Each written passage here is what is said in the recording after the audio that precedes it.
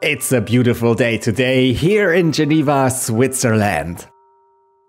I took the opportunity to take a live video outside and show you the beautiful panorama. The nice thing is, nobody is needed, so you can do it all by yourself, so you are really calm. Of course, you're certainly freer and uh, you can enjoy the moments. For this live outside, I'm using my iPad mini with the new center stage function. I install the iPad on a tripod and connect it with a 5 meter USB-C cable to my MacBook Pro.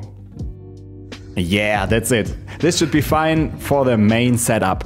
I can use this modern architecture as a beautiful background scenery as I will be doing my live video and moving around freely live videos outside. Whether you're on the pool, beach, in your office, or your favorite park, they have just such a great potential to show you within an exciting setting.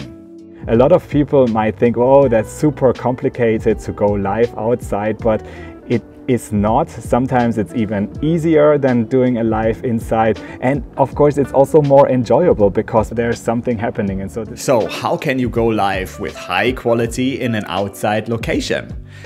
This is the equipment needed.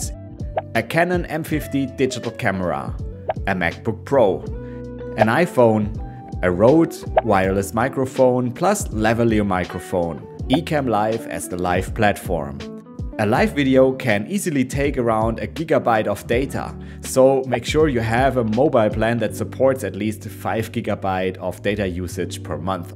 So this is a pretty decent setup for a live video outside. And as already mentioned before, for this live video I am using my iPad mini as a camera. Now I need to connect the little lavalier microphone which is connected to the Rode Wireless Go just put it here.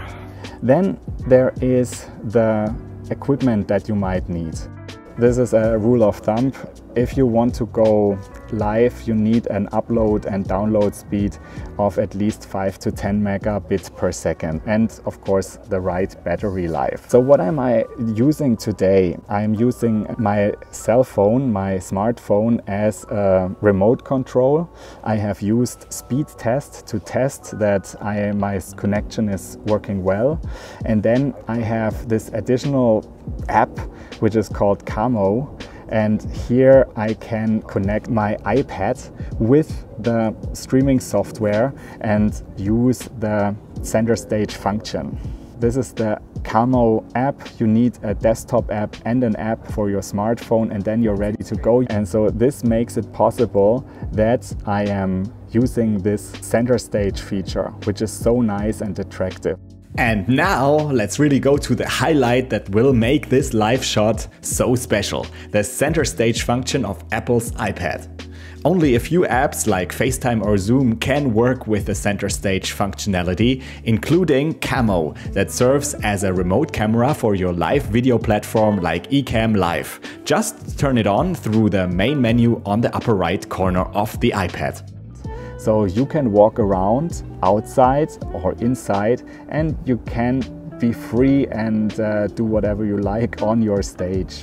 So I'm coming here into the picture and then you can walk around and the nice thing is that nobody is needed so you can do it all by yourself so you are really calm with your live video and you can of course go closer. You can also go farther away. I have a microphone here, like a wireless microphone that ensures that my sound, my, my speech is always working well. And so these are opportunities that we didn't certainly have some years ago because we needed like a big film team. This is not needed anymore. So if you have a nice location, if you want to go outside and you are in the mood, of course, you're certainly freer and uh, you can enjoy the moment. So this energy you can use and transfer to your viewers. And I'm happy that I could give you this wonderful panorama here.